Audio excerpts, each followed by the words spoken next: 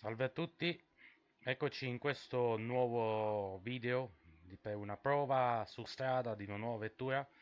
Questa volta provo la McLaren MP412C di classe GT3. Questa è stata la prima vettura GT3 arrivata su iRacing. Parliamo di un 3008 V8 biturbo motore derivato da un progetto Nissan poi eh, modificato per adattarlo a questo tipo di vettura. Vi mostro l'abitacolo. È una vettura che si presenta eh, molto eh, piccola eh, abbastanza eh, semplice sia nell'abitacolo vedete tutto il roll bar è anche abbastanza minimalista, ci sono eh, poche funzioni rispetto ad altri tipi di eh, vetture, anche di categoria eh, uguale, anche il volante è molto semplice, pochi pulsanti, poche funzioni, tutto il, diciamo, il necessario eh, che serve a questa vettura da un punto di vista di eh, elettronica presenta degli ottimi specchietti con una buona visuale. Manca lo specchietto retrovisore eh, centrale anche se appunto sarebbe inutile dato che dietro come potete vedere l'abitacolo è chiuso al, al, dietro ovviamente c'è il propulsore quindi sarebbe inutile avere uno specchietto retrovisore quindi eh, bisogna assolutamente fare affidamento eh, sugli specchietti laterali e su quello che magari può essere eh, l'audio stesso eh, di altre vetture che eh, durante una competizione potrebbero essere dietro di noi. Abbiamo il quadro, anche il display molto semplice, molto minimalista. Avviamo il motore.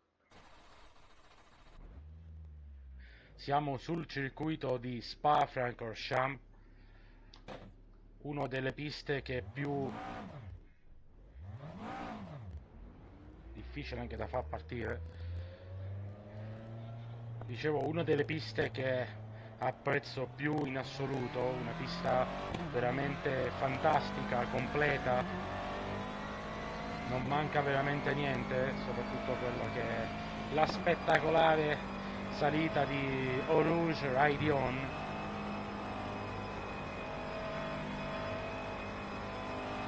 lungo rettilineo che possiamo vedere qui. Questa è una vettura che nonostante sia una GT ma sa molto di racing sia per quanto riguarda appunto la maneggevolezza la prontezza in curva.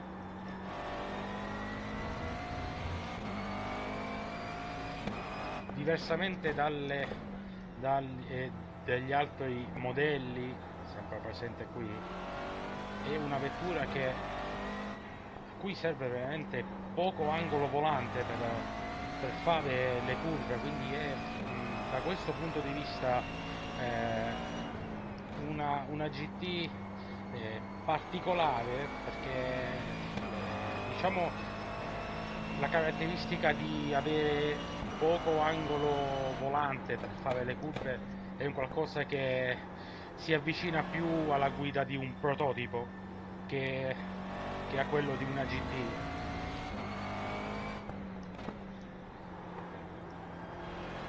dunque è una, una caratteristica che me piace parecchio sinceramente eh, per essere una vettura di di questa categoria, di queste prestazioni. Non la guidavo da un bel pezzo. La macchina è molto pronta.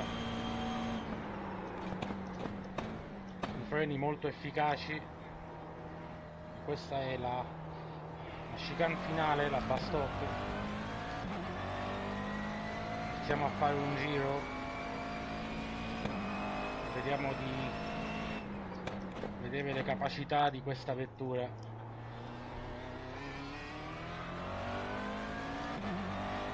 ovviamente come ogni GT quello che sono i trasferimenti di carico si sentono molto eh, di più rispetto eh, a un prototipo o eh, a una formula in quanto eh, il peso è maggiore ehm, l'apporto aerodinamico eh, è minore. Anche quello che è ovviamente il telaio, le conformazioni, la geometria delle sospensioni.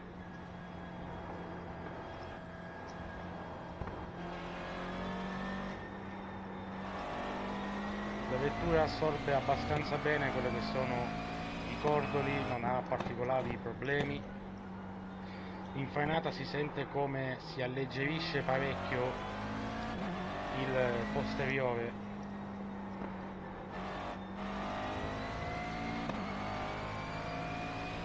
La visuale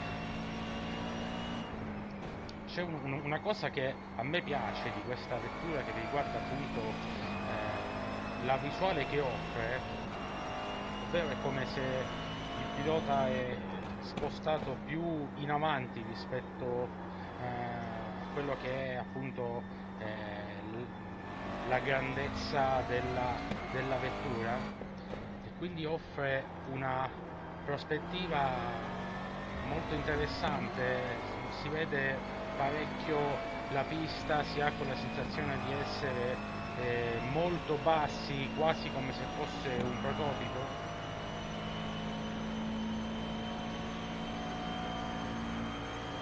Questo eh, ovviamente dipende anche dalla eh, visibilità che offre eh, il, il, cofano anteriore che eh, è veramente quasi invisibile se non eh, per un accenno appena dei passaruota che potete vedere sia lì che lì.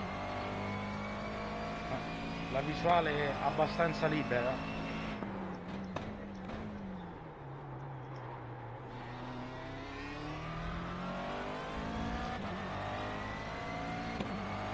il suono del motore è abbastanza interessante così come in fase di rilascio che si sentono molti bitoni di fiamma.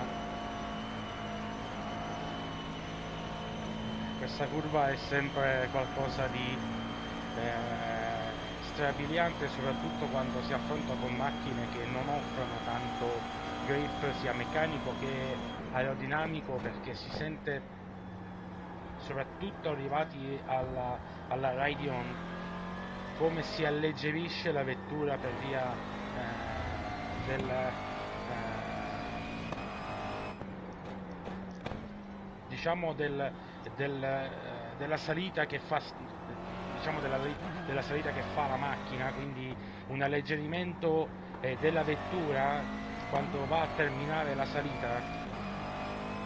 Ed è molto interessante sono anche altri tipi di vetture eh, in cui affrontare quella curva è ancora eh, più difficile ancora più emozionante.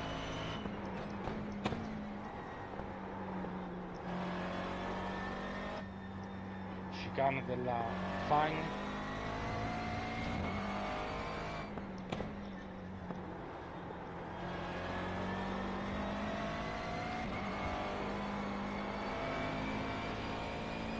e siamo sul rettifilo di, di ritorno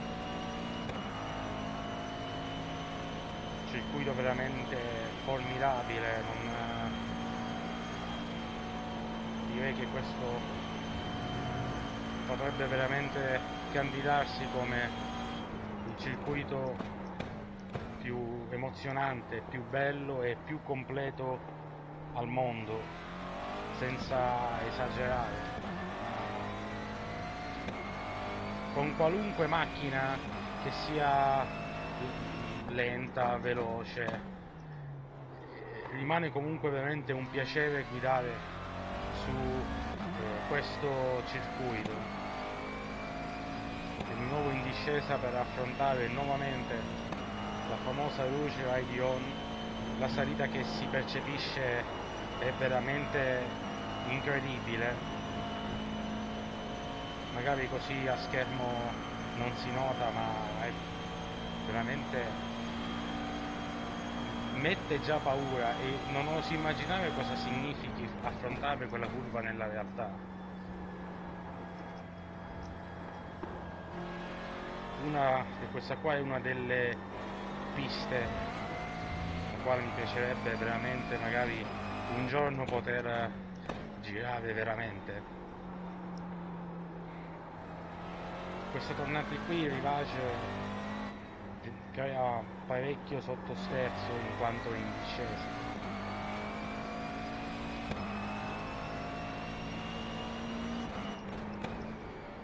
Questa, le Puon, invece, un po' con tutte le GT3 è un punto critico in quanto eh, bisogna inserire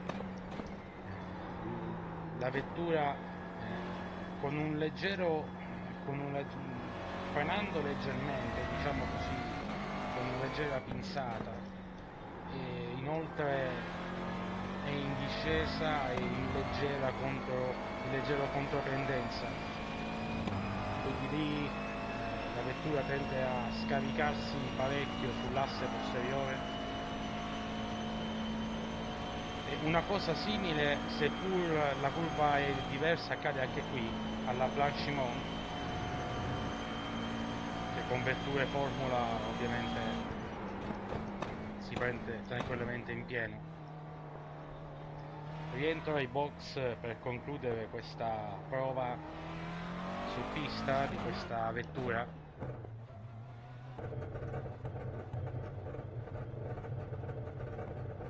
Una vettura veramente parecchio interessante magari difficile da settare per le sue caratteristiche, come dicevo prima, eh, ha un, un comportamento che probabilmente è differente rispetto alle, alle altre GT3 perché è molto pronta di suo, quindi eh, avendo un anteriore così pronto che inserisce parecchio comporta magari eh, il fatto di non poter affrontare le curve troppo velocemente se non, è, se non è settata correttamente per via di un posteriore che può risultare eh, anche abbastanza leggero. Eh, quindi non è una macchina eh, facile dal mio punto di vista, eh, risulta comunque molto gradevole da guidare, eh, sia eh, per, la, mh, per, la, prontezza che si percepisce al volante, eh, sia per l'abitacolo molto coinvolgente, molto bello, molto semplice e corsaiolo allo stesso tempo, e anche per il sound veramente particolare, non ci sono vetture eh, con un suono eh, simile a questa qui. Con questo io chiudo, spero che eh, quest'altro video vi sia piaciuto, eh, se ne avete voglia eh, condividetelo, ehm, mettete mi piace se il video vi è piaciuto iscrivetevi al canale se desiderate seguire altri video che usciranno in seguito. Grazie di tutto e arrivederci.